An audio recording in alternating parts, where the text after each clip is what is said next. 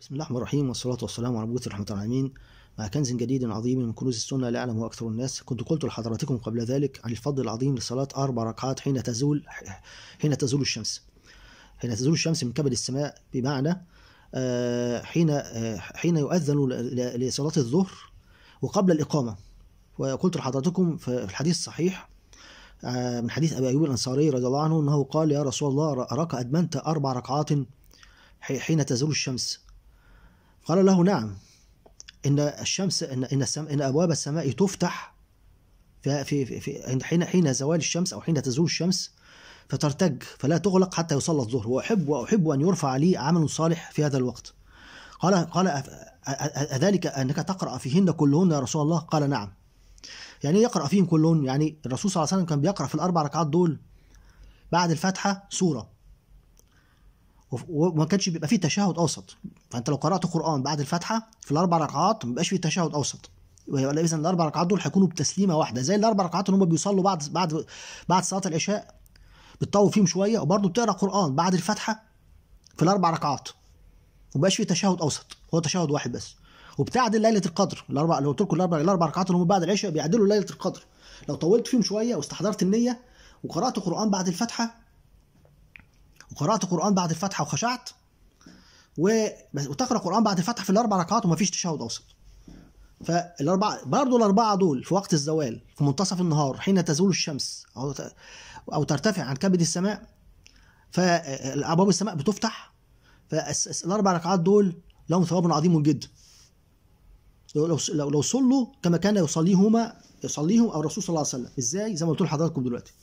وقلت لكم قبل كده إن هو جاء في الحديث أيضا إنه قال صلاة أربع ركعات بين حين تزول الشمس تعدل صلاة السحر. يعني تعدل الصلاة في الثلث الأخير من الليل وده صواب عظيم جدا.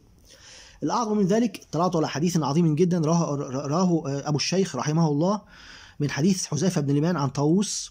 طاووس ده من كبار التابعين. عن طاووس عن حذيفة رضي الله عنه قال قال رسول الله صلى الله عليه وسلم من صلى أربع ركعات حين حين تزول الشمس من صلى أربع ركعات حين حين تزول الشمس أو عند الزوال عدلت إحياء عدلت إحياء ليلة عدلت عدلت إحياء ليلة في في في في شهر في في شهر حرام في يوم حرام.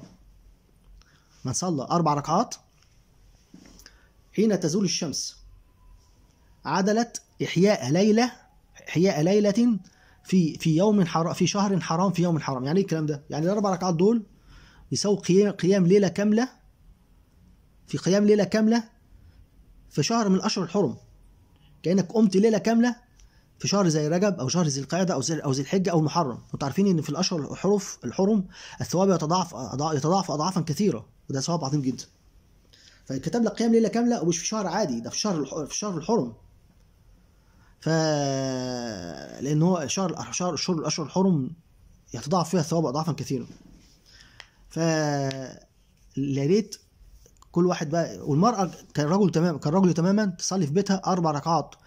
وعبد الله بن مسعود كان قلت كما قلت لحضراتكم قبل ذلك كان يصلي ثمانية وكان يقول هذه الصلاة تعدل صلاة السحر أو تعدل صلاة التهجد. أربعة أربعة ما تصليش اتنين اتنين. تقرأ تصلي الأربع ركعات تقرأ قرآن بعد الفاتحة في الأربع ركعات. مفيش تشهد أوسط تشهد واحد بس في الآخر. بعد ما تخلص أربعة صلي أربعة تانيين. لو لقيته عندك قدرة وعندك ساعة من الوقت صلي أربعة كمان 12 ليه؟ لأن ال- الس- الصلاة دي بتعدل وقت السحر يعني في وقت في وقت التهجد وقت الصلاة في الثلث الأخير من الليل. فأنت صليت 8 كأنك صليت 8 في الثلث الأخير من الليل.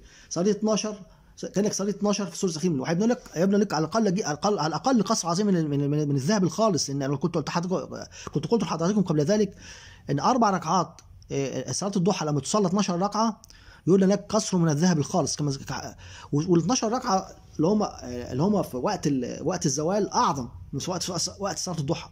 لأن العلماء قالوا السماء بتفتح في منتصف النهار وتفتح بعد الساعة 12 بالليل. فإذا كان بيبنى بيك على الأقل قصر من الذهب الخالص. آه وفي حديث تاني اللي بيصلي أربعة ضحى وأربعة بين ال... بين ال... بين بين, بين أذان الظهر والإقامة بيبنى له قصر برضه. فثواب ثواب عظيم جدا. فالأربع ركعات دول تعدل إحياء ليلة كاملة في يوم حرام في شهر حرام. فطبعا يتكتب لك قيام ليلة. فلو صليت 8 ك... ك... بس استحضر النية دي. من عمل عملا يحتسب اجره عند الله فهو حسبه لا عند الله فهتستحضر آه، استحضر إن أنت كتب لك قيام ليلة بحالها بصلاة أربع ركعات ب... بالطريقة اللي إحنا قلناها دي. تقرأ تقرأ بعد الفاتحة قرانا في الأربع ركعات. مفيش تشهد أوسط. تشهد واحد بس في الآخر. وحاول ان أنت مثلا تطول فيهم شوية وأهم حاجة استحضار النية. استحضار النية إن الأربع ركعات دول أنا بصليهم عشان تعدل صلاة التهجد عشان آخد بيهم قيام ليلة ليله قيام ليلة قيام ليلة كاملة في شهر حرام أو في ليلة حرام. فاستحضار النية مهم جدا. فأنا هكتب لكم الحديث أو الأحاديث ديت في الوصف انسخوه وانشروه نشر هذا العلم في ثواب عظيما. لعلم علما فانه أجر مع بيه يوم القيامة. ما تنسوش تفعيل الجرس والاشراق فان لا يسلكم كل جديد. وساعدونا على السنة أقول قولي هذا استغفر الله لي ولكم.